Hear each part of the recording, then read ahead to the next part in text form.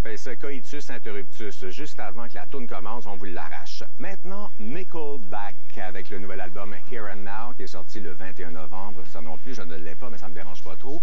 Euh, les fans en redemandent du Nickelback. Ils ne se tannent pas. L'album est entré au numéro 12 aux États-Unis, numéro 10 en Angleterre. Ça marche en Europe aussi, numéro 1 au Canada et numéro 3 au Québec.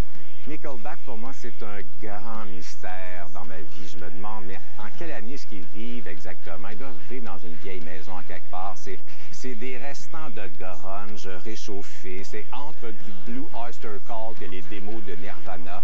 Euh, c'est plus qu'une épreuve de patience pour moi. Écoutez, j'ai écouté l'album, chaque pièce au complet. Je me dis, bon, il reste combien de temps, là? Ah, la chèvre, tranquillement, là.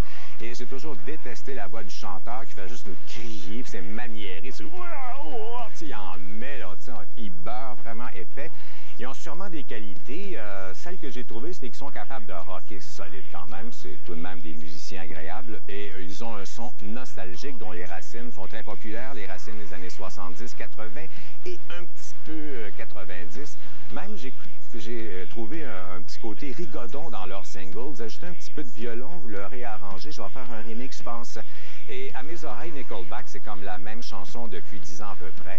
Ça me tape sur les nerfs. Pourtant, j'écoute des trucs beaucoup plus avec ça. C'est l'originalité qui manque. C'est tellement usé comme son, je comprends pas trop trop. Et c'est supposé être un de leurs meilleurs albums. Donc, euh, c'est mon problème, c'est pas mon genre. Et comme d'habitude, j'ai apprécié beaucoup la fin de l'album. Dieu merci, il n'y a que 11 pièces. Voici un extrait de la tune de Rigodon. Imaginez ce violon sur When We Stand Together.